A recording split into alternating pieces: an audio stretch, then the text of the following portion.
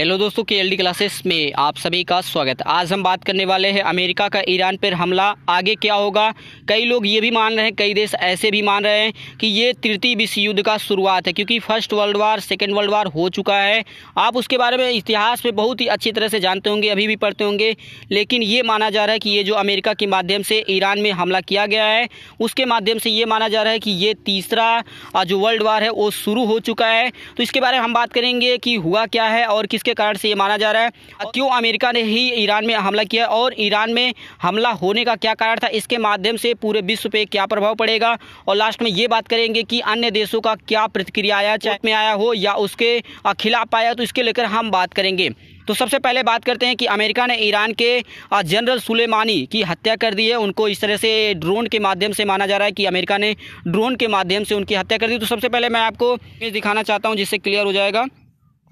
तो यहाँ पे यहाँ पे आप इमेज देख सकते हैं। तो ये हैं जनरल सुलेमानी जो इस तरह से जो ईरान देश है, वहाँ के ये कमांडर थे। तो रात के समय में बगदाद हवाई अड्डे से बाहर आते समय इनकी हत्या की गई। इनके साथ कई अन्य लोग भी मारे गए हैं, लगभग आठ से दस लोगों को, जो सेना के ही जवान थे और इनके कई और लोग भी मारे गए हैं। के माध्यम से ये पहली बार ऐसा नहीं है कि ये ईरान में पहली हमला हो। इसके पहले, कुछ दिन पहले ही पच्चीस ईरानी जो सैनिक है, उनको मारा गया था अमेरिका के माध्यम से। इस तरह से हवाई हमले हमेशा समय समय पर अमेरिका करता रहता है। और इसके बारे में बात किया जाए, जो ये ईरान के शीर्ष कमांडर कासिम खुलेमानी है, ये इतना खतरनाक क्यों थे जिसके माध्यम से जो अमेरिकी सरकार है, चाहे वो किसी का शासन, चाहे वो बराक ओबामा हो, या अन्य किसी का भी राष्ट्रपति शासन रहे, राष्ट्रपति शासन है, अमेरिका में रहा हो, सभी ने इनके खिलाफ इस तरह से कड़ा कदम उठाया हो, चाहे किसी का शासन रहा हो। तो ये सबसे पहले इंपॉर्टेंट चीज़ ये है कि ये खाड़ी देश, चाहे वो सऊदी अरब हो यू हो, कुवैत हो, जो भी खाड़ी देश के हैं, सबसे ताकतवर कमांडर यही थे। और कई अन्य देशों के ये उस तरह से होता ना कि रणनीति रणनीति कार्य थे। कई देशों के राष्ट्रपति और प्रधानमंत्री को ये रणनीति बना के देते थे कि चाहे वो आतंकवादी से कैसे लड़ा जाए या अमेरिका से कैसे सजग रहा जाए, इसके बारे में ये रणनीति दे बनाते थे, जिसके कारण से ये अमेरिका के निगाह में ये आतंकवादी भी घोषित कर दिए गए थे। और इनका जो बचपन की, थोड़ा सा मैं बात करूँ, बचपन की बात किया जाए, ये जो मैं आपको इमेज दिखा रहा हूँ, यहाँ पे आप इमेज देख सकते हैं, यही है कमांडर कासिम सुलेमानी जिनकी हत्या कर दी गई है। तो ये इनका बचपन बहुत ही गरीबी में, इनका पूरा परिवार जैसे किसान के रूप में था। उन्नीस सौ नवासी में ईरान के रेवो सनरी जो वहाँ पे गार्ड से ये कह सकते हैं कि सेना है, उसके, उससे जुड़े और 1990 में, समझिए कि उन्नीस में ये उस गार्ड से जुड़े और 1990 में इनको वहाँ का को कमांडर नियुक्त कर दिया गया तो सबसे ताकतवर कमांडर थे। उसी तरह से ये ईरान के दूसरे ताकतवर तो व्यक्ति माने जाते हैं। देश के राष्ट्रपति, ईरान जो देश है, वहाँ के राष्ट्रपति हसीन हसन रूहानी जी हैं। उनसे भी और विदेश मंत्री जो हैं, वहाँ पे ईरान के, उनसे भी अधिक लोकप्रिय ये माने जाते हैं, खाड़ी देशों में। 2012 में भी इनका नाम आया था, जब भारत में इस तरह से जो दूतावास है इसराइली दूतावास है भारत में नई दिल्ली में, उसके ऊपर जब हमला किया गया था, तब इसका नाम भारत में भी लिया गया था कि इनका ही आता है। इन्होंने कह सकते हैं कि ये भी माना था कि इसमें हमारा याद है 2012 में दिल्ली में इसराइल दूतावास पर हुए हमले के नाम आया था। 2019 में देश का सर्वोच्च सैन्य सम्मान आर्डर ऑफ़ जुल्फिकार मेडल भी इनको प्रदान किया गया था। ईरान के इन्हें, ईरान के जो लोग हैं, ईरान देश के लोग हैं, ईरान या इराक हो, यहाँ के लोग इनको हीरो मानते थे चाहे वो किसी देश को रणनीति बना के दे, देना हो या आईएसआई जो संगठन है आतंकवादी संगठन है उसको भी ख़त्म करने का या अपने देश में कम करने का जो उसका पावर था उसको कम करने का सबसे अधिक श्रेय इन्हीं को जाता है। अमेरिका और ईरान का जो रिश्ता है वो आज एक साल दो साल से ख़राब नहीं है। ये लगभग छाछठ वर्षों से जो मैं आपको बता रहा हूँ लगभग आज से छाछठ साल पहले से ही अमेरिका और ईरान का रिश्ता गड़बड़ हो रहा हो चुका है। ऐसे जो हमला किया गया है अमेरिका के माध्यम से ईरान देश में तो ईरान की जो सरकार है और इराक की जो सरकार है, दोनों देशों ने अपने सेना को तैयार रहने के लिए कहा है कि हम इसका बदला लेंगे। आगे बात किया जाए, अमेरिका देश ने क्यों ईरान देश में इस तरह से कमांडर को मारा है, जो सुलेमान है, उनको क्यों मारा है, इसके बारे में बात करेंगे कि सबसे बड़ा कारण ये है कि 2020 का राष्ट्रपति का चुनाव, समझिएगा, सबसे इंपॉर्टेंट चीज़ यही है कि 2020 में अमेरिका में राष्ट्रपति का चुनाव होने वाला है। तो उन्होंने जब 2016 में इस तरह से चुनाव हो रहा था, क्योंकि चार साल के अंतराल पर ही अमेरिका में राष्ट्रपति का चुनाव होता है तो उस तरह से 2016 में उन्होंने वादा किया था कि हमारे जो सैनिक है, अमेरिका के जो सैनिक है, चाहे वो अफ़गानिस्तान में हो, ईरान में हो, इराक में हो, जापान में हो, या दक्षिण कोरिया में हो, वहाँ पे जो तैनात हैं, हम सभी को अपने देश में वापस कराएँगे। लेकिन ऐसा नहीं हो पाया, इसके कारण से ऐसा विवाद हो चुका है। परमाणु समझौता से अलग होने के बाद 2019 में रेवोल्यूशनरी जो गार्ड्स है, कह सकते हैं कि जिसके ये कमांडर माने जा रहे थे, उनसे, उसको आतंकवादी घोषित किया गया था। 2019 में कमांडर कासिम सुलेमानी है, उनको भी आतंकवादी घोषित किया गया था। इसके कारण से अमेरिका की हमेशा इनके ऊपर निगाह बनी रही।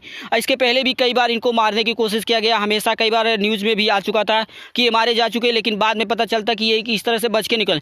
लेकिन अब की बार उनके जो पर्स हुआ और जो अंगुली में अंगूठी जो पहने हुए थे, इसके माध्यम से ये फिक्स हो गया है। सरकार ने दावा किया है कि अब की बार ये मारे गए हैं। और इसको देखते हुए अमेरिका ने वहाँ पे पैंतीस और सैनिक, एक्स्ट्रा सैनिक वहाँ पे भेजा, जिसके माध्यम से वहाँ पे स्थिति को कंट्रोल किया जाए। और सबसे बड़ा मुद्दा ये माना गया कि अमेरिका ने क्यों हमला किया?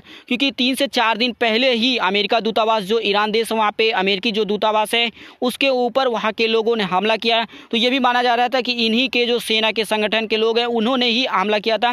इसके कारण से अमेरिका ने ये बदला लेने की कोशिश की है और उसने आरोप लगाया है कि इस जो संगठन है, जो रेवोल्यूशनरी जो संगठन, आर जो गार्ड्स है, संगठन है, उसने अमेरिका देश के लगभग हज़ारों सैनिकों को मारा था। एक डाटा प्रोवाइड किया गया है कि 2003 से लेकर 2011 के बीच में छः सौ बहत्तर अमेरिकी सैनिकों को इसने इस संगठन ने मारा है। तो इसके कारण से अमेरिका देश हमेशा इसको निगाह, चाहे वो और, चाहे वो और अन्य देशों सभी ने इसको निगाह लगाई थी कि इनको कब मारा जाए, क्योंकि ये इस तरह से अमेरिका में कुछ आतंकवाद या फैलाने की कोशिश कर रहे थे, जिसके कारण से अमेरिका सरकार ने या अमेरिकी जो सैनिक है, उसने ड्रोन के माध्यम से इनके ऊपर हमला किया और इनको इस तरह से मार गिराया। इसके बाद हम बात करते हैं कि आने वाला समय में या इस तरह से प्रभाव भी देखने को मिल रहा है। अब इसके आगे प्रभाव क्या पड़ेगा, चाहे वो भारत हो या अन्य किसी भी देश में उसके ऊपर इस हमले से, चाहे वो अमेरिका और ईरान के हमले से क्या प्रभाव पड़ने वाला है? तो चलिए हम बात करते हैं प्रभाव के बारे में। इन दो देशों के बीच में जो युद्ध हो चुका है, शुरू हो चुका है, आगाज़ हो चुका है, इसको लेकर क्या प्रभाव पड़ेगा? तो सबसे पहला ये माना जा रहा है, कई लोग ये, कई देश के लोग ये मान रहे हैं कि ये ये 2020 में शुरू होने वाला ये तीसरा तीसरा विश्व युद्ध शुरू हो चुका है।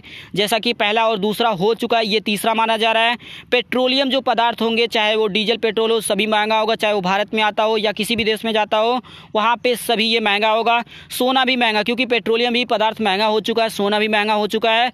कल ही हमला हुआ, उसके बाद से ही, कल से ही ये महँगाई देखने को मिली है। भारतीय जो रुपया है, वो कमज़ोर हो चुका है डॉलर के मुकाबले में।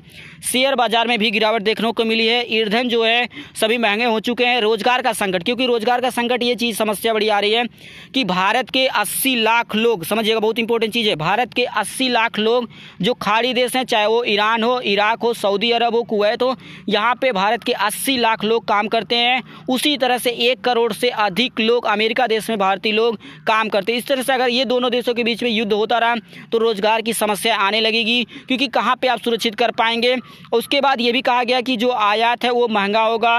विदेशी जो निवेशक है, वो भी घटेंगे, क्योंकि उनको डर है कि यहाँ पर कभी भी आतंकवादी घटनाएँ हो सकती है। इसके लिए वो अपना इस तरह से जो निवेश है, उसको सुरक्षित करके दूसरे देश में निवेश करने की कोशिश करेंगे। तो इस तरह से लगभग आठ से दस प्रभाव पड़ेगा। ये पूरे देश पर पड़ेगा, ये सिर्फ़ भारत पर नहीं पड़ेगा, ये अन्य देश पर भी पड़ेगा, चाहे वो पाकिस्तान हो, अमेरिका हो, हर देशों में ये ज़रूर इफ़ेक्ट देखने को मिलेगा। इसके बाद हम बात करेंगे कि भारत देश के ऊपर अगर ये दोनों देश के बीच में आगे युद्ध होता रहा, आगे चलता रहा तो भारत के ऊपर क्या प्रभाव पड़ेगा? भारत के लिए सबसे बड़ी समस्या ये है कि भारत जितना अमेरिका से मित्र, मित्रता रखता है, उसी तरह से उतना ही ईरान देश से मित्रता रखता है। तो इस तरह से हम कह सकते हैं कि भारत के लिए ईरान भी प्रिय है और अमेरिका भी प्रिय है। अगर इनसे लड़ाई हो रही तो ये नहीं कह सकते हैं कि हम इनके साथ हैं और इनसे लड़ाई हो रही तो हम ये नहीं कह सकते हैं कि इनके साथ हैं। क्योंकि दोनों देशों के साथ बहुत अधिक भारत का व्यापार होता है। अस्सी लाख भारतीय खाड़ी देशों में रहते हैं। उसी तरह से एक करोड़ से अधिक भारतीय अमेरिका देश में रहते हैं। तो दोनों देशों से संबंध हमको अच्छा रखना होगा। होगा, क्योंकि ये हमारे लिए सबसे बड़ी मजबूरी होगी। भारत की स्थिति इस समय वैसे ही गड़बड़ चले, चाहे वो अर्थव्यवस्था हो, रोज़गार को लेकर हो, हर चीज़ को लेकर भारत में इस समय वैसे ही गड़बड़ चल रही है। महँगाई भी बहुत अधिक बढ़ चुकी है। तो ऐसे में अगर ये दोनों देशों के बीच में युद्ध एक महीने, दो महीने, एक साल, दो साल इस तरह से चलता रहेगा तो भारत के लिए और सबसे बड़ी समस्याएँ देखने को मिले। इस तरह से कई विशेषज्ञों ने यह भी बताया कि अगर ये, इस तरह से अगर ये युद्ध एक साल अगर मान चल जाता है तो भारत को बत्तीस हज़ार एक सौ करोड़ रुपए प्रति वर्ष के हिसाब से घाटा उठाना पड़ेगा। ये भारत के लिए बताया गया है। पेट्रोलियम पदार्थ सबसे अधिक महँगे होंगे तो सबसे अधिक प्रभाव भारत को ही होगा। चाबाहार जो पोर्ट है, उसकी जो समस्या आ रही है, उस पर ऊपर संकट आएगा। कट या ऐसा युद्ध की स्थिति बनती है, क्योंकि जो समुद्र के माध्यम से जो व्यापार होता है, उसके ऊपर ज़रूर प्रभाव पड़ेगा अगर ये युद्ध होता है। तो चलिए हम बात करते हैं आगे कि अन्य देशों की प्रतिक्रिया क्या आई है, चाहे वो फ्रांस हो या रूस हो, सभी देशों ने अपनी अपनी प्रतिक्रियाएँ दी हैं। तो क्या क्या कहा है सभी ने? तो सबसे पहले हम बात करते हैं कि जो रूस देश ने उसने क्या कहा? इसको लेकर जो ये हमला किया गया है अमेरिका के माध्यम से तो यहाँ पे देख सकते हैं, लिखा है कि रूस के विदेश मंत्रालय ने कहा कि ये जो सुलेमानी के वो जो कमांडर हैं, ईरान के थे, उनके ऊपर जो हत्या, ये हमला किया गया ये उनके हम, उनके ऊपर हमला नहीं है, ये पूरे ईरान देश के ऊपर हमला किया गया है। तो इस तरह से ये बहुत ही गलत है। उसके बाद चीन देश ने कहा कि सभी लोग शांति बनाए रखें, चाहे वो अमेरिका हो या ईरान हो, इराक हो, सभी को शांति बनाए रखने की ज़रूरत है। तीसरे देश हैं, सीरिया। इसने भी कहा कि ये जो हमला किया गया है, अमेरिका के माध्यम से, ये कायरतापूर्ण है। किसी भी देश में आप बिना उस देश के परमिशन के अगर इस तरह से हवाई हमले या कोई भी सैन्य हमला करते हैं तो वो बहुत ही कह सकते हैं कि उन्होंने उसका उल्लंघन माना जाता है। चौथा देश है, खतरनाक ये फ्रांस देश ने भी कहा कि ये खतरनाक खबर है, क्योंकि उसको सुबह एकदम जैसे होता ना, इसके लिए उसने कहा कि हमें ऐसा विश्वास नहीं था कि अमेरिका ऐसा कुछ करेगा, जिसके माध्यम से पूरे देश की जो प्रॉब्लम है या विश्व की जो समस्या है, वो आगे और बढ़ सकती है आने वाले समय में।